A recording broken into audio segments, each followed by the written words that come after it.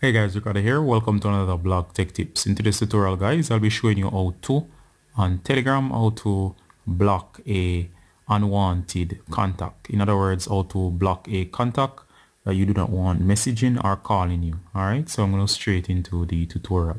First thing you want to do guys, go ahead and launch Telegram. Should be on your main feed as seen here.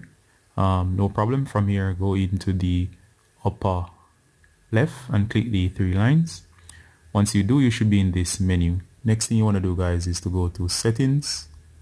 Once you go to settings um, you're gonna go to the settings under the section down here and go to privacy and security. Once you click on privacy and security guys you should see this option or this set of options right here. And of course among them you should see the option to block users. Now of course if you block a user this person will be unable to contact you or message you or even call you so of course, make sure that you are sure you want to block this person. You can always change your mind later on. I'm gonna go ahead and uh, go into block users. Notice it says here that um, block users will not be able to contact you and will not be able to see your last seen time. And of course, that means they can't monitor your online activity. Alright, so if you want to block a particular person, go and hit the plus. You'll be taken to um, your chats. If the person is somebody you recently talked with, you can go ahead and select and of course you can also go over to the contacts tab. Once you're on the contacts tab you can choose anybody from your contacts. Alright so of course it's quite easy.